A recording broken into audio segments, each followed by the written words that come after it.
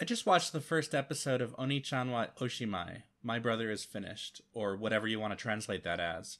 And I gotta say, it hits all those specific gender euphoria feels that you'd want.